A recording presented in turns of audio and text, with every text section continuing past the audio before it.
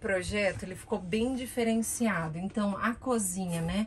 É, como o cliente quer mais para off-road, a cozinha ficou do lado de fora. Aqui nós temos uma poltrona de um lado, do outro também, né? Ocupando aí a poltrona. Embaixo, aqui a mesa, né? Embaixo aqui nós temos o baú.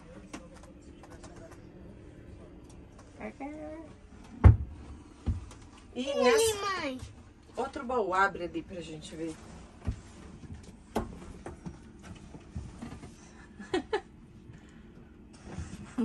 Deixa eu te ajudar, coloca o pezinho pra cá, ó. Mais um baúzinho. Agora fecha bem com cuidado. Aqui nós temos, ó, essa parte de baixo aqui toda ficou liberada para baú. Então, como é flatbed, ela é bem funda. O que desse lado, então dá para uma pessoa dormir aqui. O ar condicionado ali, né? Todas as janelas com é, tela mosquiteira e blackout.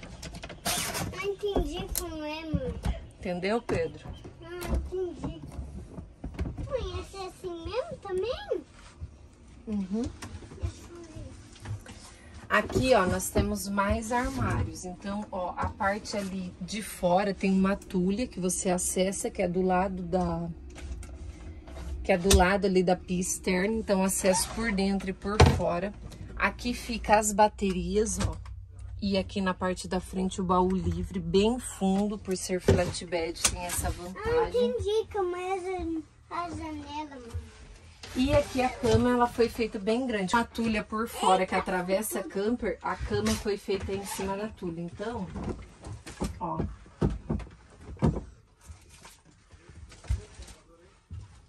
Deixa eu aqui. Licença aqui, meu anjinho. Ó, aqui um baú. Outro baú. Sim. Lá na frente nós temos outro baú do mesmo tamanho. Então essa cama ela ficou bem grande, bem, bem grande mesmo. Aqui nós temos o banheiro. Então ar condicionado, né? Banheiro, ó, o chuveiro, ele é deslizável. Entra aí dentro, Pedro, para testar o banheiro. Aí, no caso, o Pedro pode tomar banho aqui, ó, o chuveirinho, o vaso, a pia. Aqui, parte é, normal, como normalmente as nossas camas. Aquela armário embaixo da poltrona que, que eu mostrei ali, que tem uma tulha fora, é esse daqui, ó. Então, ó, esse armário é o mesmo que eu acessei lá por dentro, ó. Então, você consegue acessar por dentro e por fora. Ele fica do lado aqui da nossa cozinha, ó. Então, é, essa camper o cliente fez mais para off-road. Ele gosta muito de ficar na parte externa. Aí aqui ele pode estar armazenando, né? Então, como se fosse uma dispensa mesmo, né? Aquela tulha que eu comentei, que a cama fica sobre ela, Mãe, que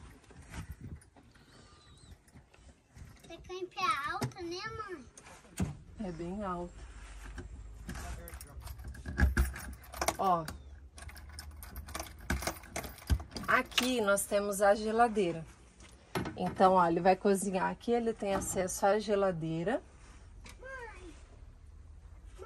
Ele ele tem a dispensa aqui. Ó, então ali tá a geladeira do outro lado e aqui mais, né, um lugar aí para estar guardando as coisas. E olha isso, até então, quando ele precisar pegar alguma coisa, tem a luz aqui e ficou uma tomadinha externa também. Externa não, uma tomada aqui de fácil acesso, né? Conformei com o Diego, 70 centímetros por 1,20, uma média aí. Então cabe bastante coisa. Por isso que a cama, ela puxou para frente. Essa cama, ela, ela não fica aqui. Ela avança até aqui por cima dessa tulha. E aí, o, nós optamos por deixar ali... é, Fica aqui, ó. Quem fica desse aqui, ó. isso. Então, pelo uso aí do cliente, ele optou que a ideia é usar off-road, é ficar em mata, ficar isolado mesmo. Então, ele optou Você por colocar que externo. Você falou colchão que não fica aqui, mãe? Isso, aham. Aqui no caso, ó, o botijão de gás, tem uma duchinha externa. Eu consegui ver aí, mãe. Sim. O botijão, uma duchinha externa e ainda sobra um espaço.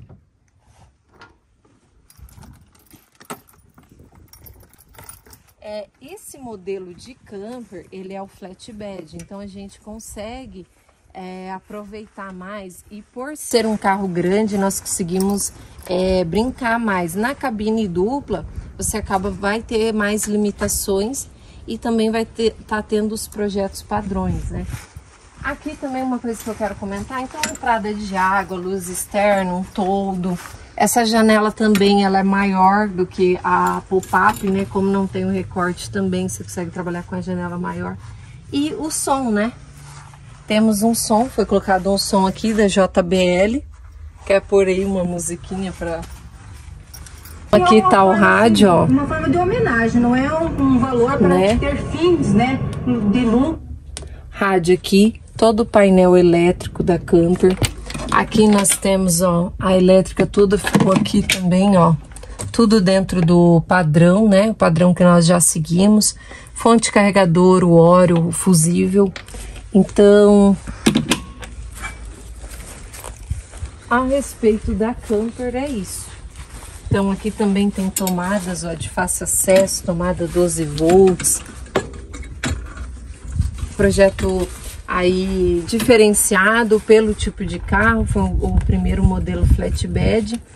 É, espero que tenham gostado e esse projeto aí ele ficou bem bem assim caracterizado, né, com algumas aí com um tipo de viagem que esse cliente pretende estar tá fazendo. Então é isso, espero que gostem, curtam o vídeo, é, comentem o que acharam desse projeto e é isso. Até a próxima.